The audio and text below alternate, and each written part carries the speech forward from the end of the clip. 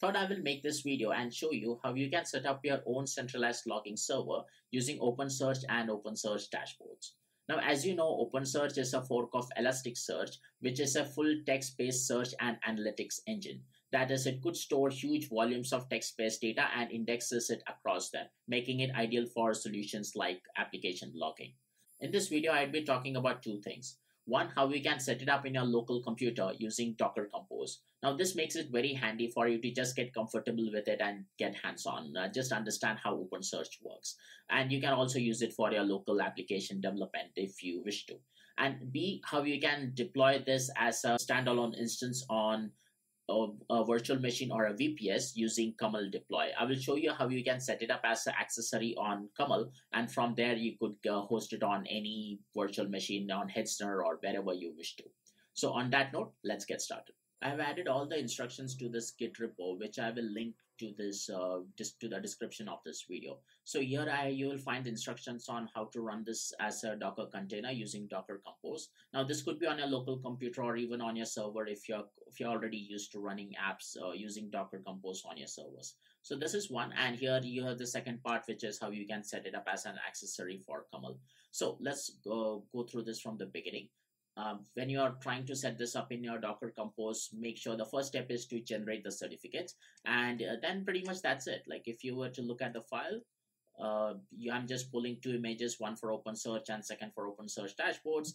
You could just copy it as is, make sure you're referencing the certificates correctly in the folder and um, I'm, I'd like to set this up with a password just so that if I am putting uh, hosting this on any server, I don't want this to be exposed. So you could just set up a password. And this is the reason why you have to generate the certificates. Okay, if you decide to host this without a password, you are good to go without even generating any of these uh, certificates.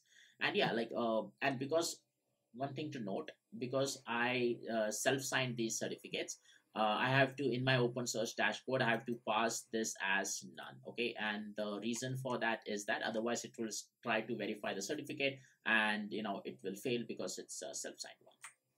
Anyways well now uh, this is the same code base that I have.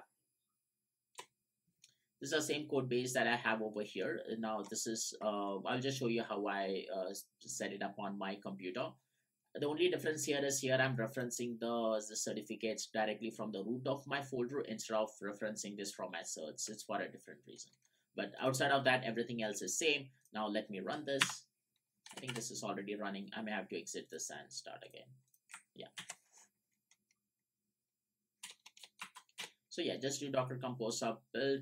All it will do is will start running. There is no build process. It's only the only delay would be just to pull this images, right? Pretty much that's it and yeah so here it is running and to test this how it is working oops. You could run this command and as you can see it has fetched all the indexes for me. And if I were to go here and open this instance yeah this is here it is right? And I'll grab the password it is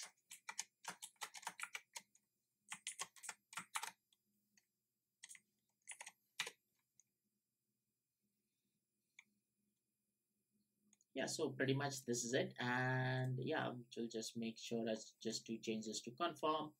Uh, you will see this when you're setting this up for the first time. I'll quickly show you how you can send logs here. Now this is my one this is one of the applications that I'm working on. This is in PHP Laravel. And here I have set up OpenSearch as one of my drivers and here uh, I have set my host as with this URL. The only difference, only point you have to uh, pay attention to is that if you are hosting this using Docker, make sure it's referencing the correct name on your net Docker network. Okay, otherwise, if you're passing localhost over here, it won't work. So uh, I've been running this already. Let's see, it's yeah, it's running. Uh, maybe a minute. Anyways, I think we'll try.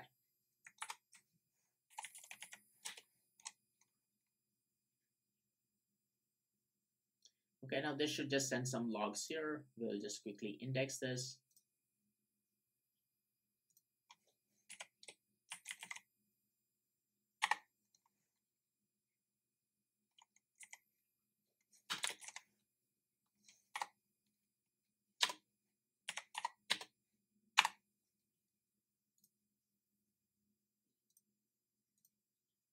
I'll have my timestamp as my primary index field and create index. Yep, the index is created. Things look good. Let's go to discover and let's start looking at some logs. Yeah, here you see, right? So as you can see, it already sent some of the logs here. Now, if I were to refresh this one more time, I would see a one more stick next to it. Let's refresh. Yep, here I saw the logs. And of course, you could customize this the way you want it, right? I want message, I want this. I mean, it's up to you. Now I will quickly go over how you can set this up as a Kamal deploy accessory. Uh, now why Kamal deploy? Because uh, I found this to be the easiest way how I can deploy this to a standalone VM or a VPS. Okay, it's much easier for me to manage, handle if I want to restart or add some more stuff to it. So uh, everything remains same. You could just copy over this file as is and just update your accessories uh, section. I have this OpenSearch image. I have this OpenSearch dashboard image. Uh, because I'm using password, I need to use pass the create, generate the certificates and so on. Uh, one thing I would ask you to modify here is this password could be a secret instead of a clear variable. Okay, this is especially if you're going to expose this to your client or production systems. Here, I will quickly show you, uh, just modify this, uh, my PHP application to send logs to my server. My URL is updated here. Okay, now let's just quickly try.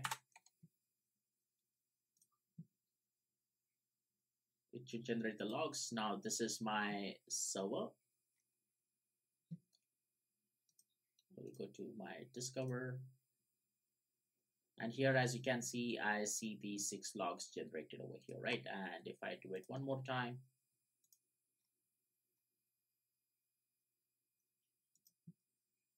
refresh, there you go, right? So yeah, so I guess this gets the job done here. It's pretty easy to work with and set up.